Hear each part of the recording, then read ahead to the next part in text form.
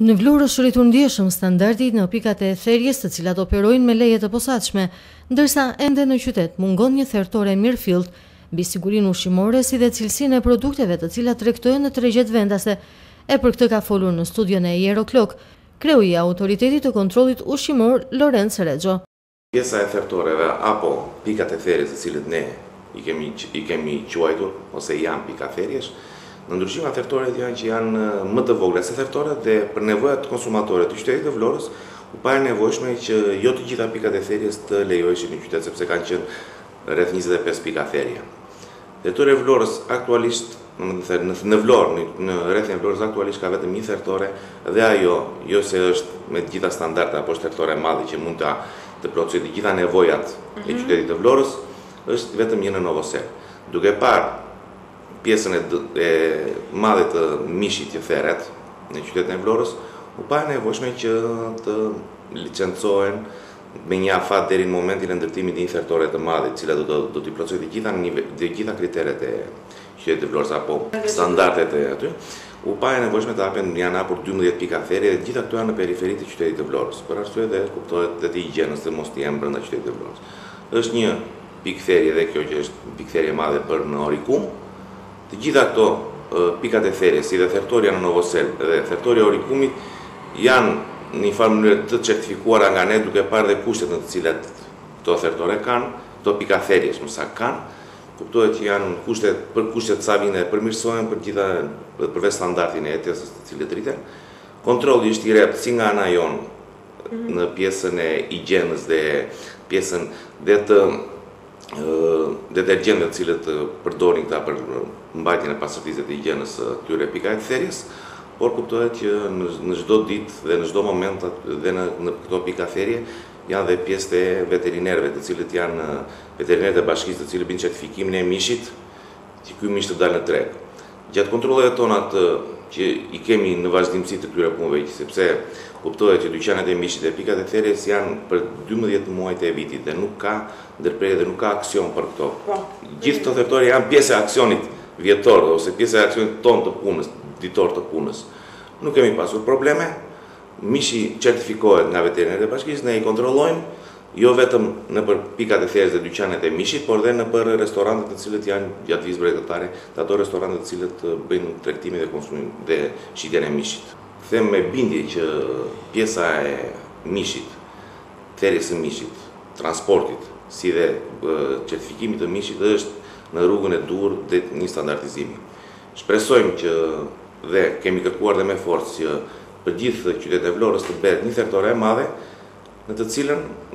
këto pikat e therjes, të cilat janë përreth në periferi të qytetit të Vlorës, t'i mbyllim dhe i gjithë mishi të theret në një thertore të vetme dhe kuptohet që dhe kontrolli do të jetë akoma më i mirë, por kjo s'do me thënë që ne nuk, nuk kontrollojmë këto pjesë të këto 12 pikat e therjes të cilat kemi lënë. Por kuptohet që kur është e organizuar në një vënd, dhe kontrolli do të jetë më i mirë dhe masat do të jenë Të rrepta, nuk se do të kemi, do të tolerojmë këtë pjesë, për të ju garantoj të gjithë konsumatorët të cilat te pjesa e mishit, dhe te pjesa skadencat e produkteve nuk ka tolerim. Dhe në te pjesa e Selenicës dhe të fshatrave të Lumit Vlorës është lënë nga një pikë therje, për shembull ka një pikë therje në Kropisht, ka një pikë therje në Llakatun, Këto pika therje janë licencuar me afat deri në po, pjesën e ndërtimit të një ashtu, për të vetmen arsye sepse dhe aty duhet, sepse dhe ata pjesë e lumit të Vlorës ka konsum mishi, po, dhe duke qenë, duke qenë që po mos ketë pikë therje, nuk do ketë, ne kemi insistuar me forcë që ato pikë therje, ato pikat e therje që do të hapim në pjesën e lumit të Vlorës, të krijojmë standardet minimale dhe veterinerët aty që do bëjnë certifikimin e mishit të jenë sa më Pranë konsumatorit dhe të kenë një një si ta themi duhet të ta t'ia bëjnë punën më të lehtë dhe më të kontrollueshme për të gjithë mishin që do të dalë në treg. Sakaq kreu i AKU-së ka folur edhe mbi analizat e vazhdueshme për të shmangur tregtimin e produkteve bujqësore të cilat mund të kenë përmbajtje hormonale apo pesticide të dëmshme. Ne i kemi kontrolluar dhe pjesën e këtyre produkteve të cilat pavarësisht se totalisht nuk janë pjesë e kontrollit tonë, por ato futen në siguri ushqimore, kemi marrë mostra, nuk na ka ndodhur domethënë në mostrat që kemi dërguar nga qyteti i Vlorës në ISUV për pjesën e analizës dhe pjesën e ngarkesës me hormone që thonë ose këtyre pesticideve që bëjnë më tepër që këto rritje artificiale e produktit. Nuk na ka ndodhur, të paktën në qytetin e Vlorës këto gjëra. Nuk them që nuk do ketë, sepse nuk mund ta ndalojmë dot këtë pjesë, po kuptohet që është dhe pjesë e ngarkesës së vetë fermerit i cili bën këto gjëra, papërgjegjshmërisë së tyre. Po ne do të jemi aty duke marrë mostra, duke bërë analiza dhe shpresojmë që mos të ketë nga këto gjëra po ka do veproj ligji mbi gjithë këto këta fermerë se dhe fermerët janë pjesë e licencimit të kanë kodin e fermerit të cilët bëjnë të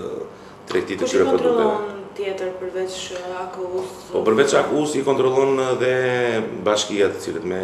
me stafin e saj që ka, sepse tregjet normalisht janë edhe pjesë, domethënë varen nga bashkia, pjesë e administrimit të bashkisë,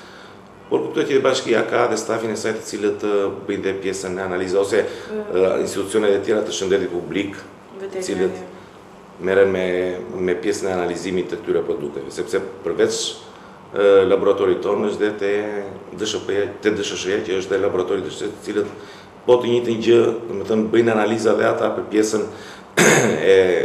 për pjesën e për disa produkteve, po jo të gjitha, po kuptohet që ne jemi të specializuar për atë pjesë. Në sitë kanë kaluar edhe pastiçeritë, ku ka patur raste ku janë konstatuar probleme dhe produkti është asgjësuar. Ja çfarë thotë Rexho. Çdo lloj çdo lloj biznesi ka pjesë për të përmirësuar, kuptohet kushtet duhet të jenë ka disa institucione të cilat ushtrohet pjesa e kateringut që janë goxha mirë në pjesën dhe të higjienës dhe këto. Kuptohet që sa do vijë kushtet ato kërkesat rriten, Them që çdo gjë do vijë drejt përmirësimit. Kuptohet që dhe nëpërmjet emisionit tuaj kërko kërkoj dhe një ndërgjegjësim edhe nga opinioni publik, por edhe nga mediat lokale për ndihmesën që mund të na japin ne nëpërmjet denoncimeve në rastet kur shikojnë shkelje të sigurisë ushqimore, le të themi. Siguria ushqimore është një ndër sfidat me të cilat do të përballet Shqipëria, si një prej katër pikave kërkuar nga Bashkimi Europian.